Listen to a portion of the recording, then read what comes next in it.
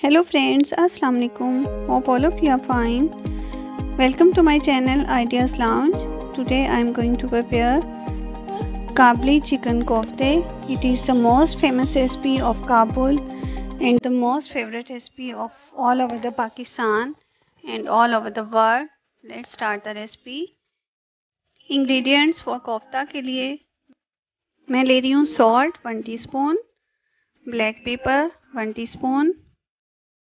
खुश्क धनिया powder one teaspoon red chilli flakes one teaspoon ज़ीरा वन टीस्पून हरी मिर्चें six two seven ginger two tablespoon garlic two tablespoon onion one medium fresh coriander and chicken half K G three boiled eggs ji viewers अब start करते हैं recipe इन सब चीज़ों को chopper में डाल के हमें चॉप करना है। जिसके लिए मैं पहले तो ऐड कर रही हूँ ग्रीन चिलीज फिर अनियन जिसको मोटा मोटा मैंने कट कर लिया था। और अब मैं ऐड कर रही हूँ जिंजर गार्लिक और कोरिएंडर जी भैया इन चीज़ों को पहले मैं थोड़ा सा चॉप कर लूँगी और फिर उसके बाद मैं चिकन ऐड करूँगी।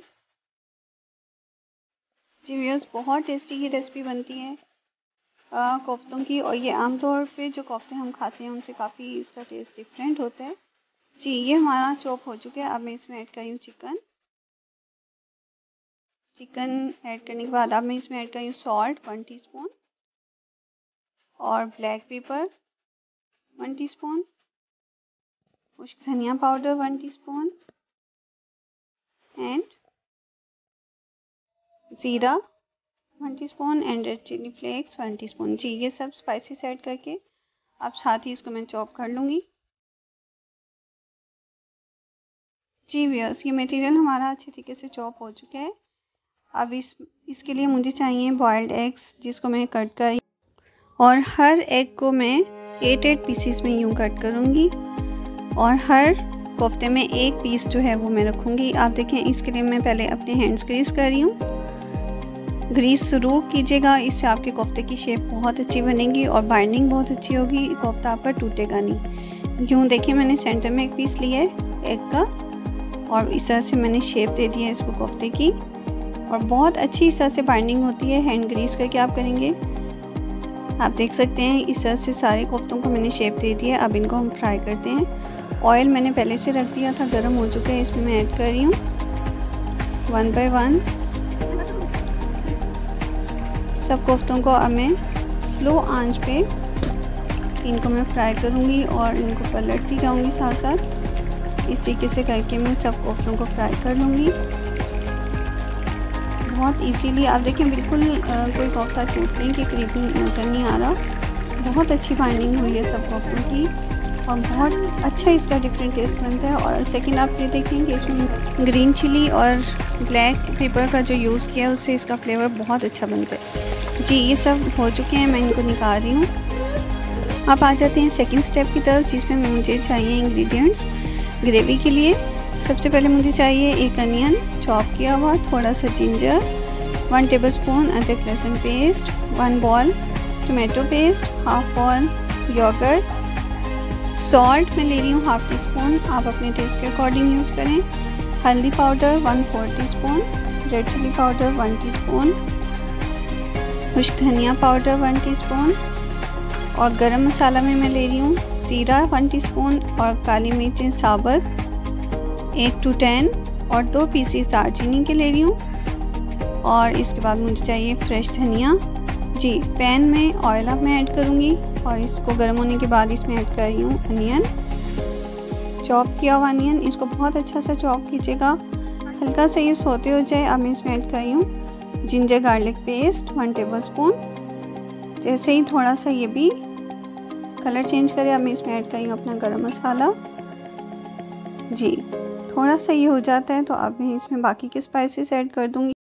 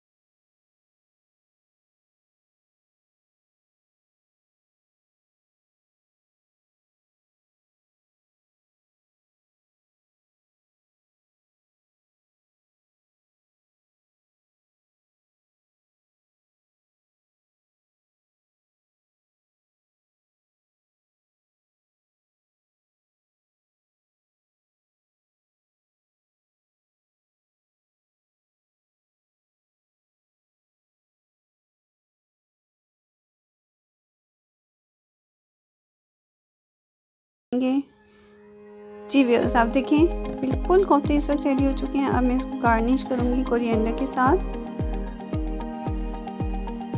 जी व्यवर्स अब मैं इसको डिश आउट कर देती हूँ।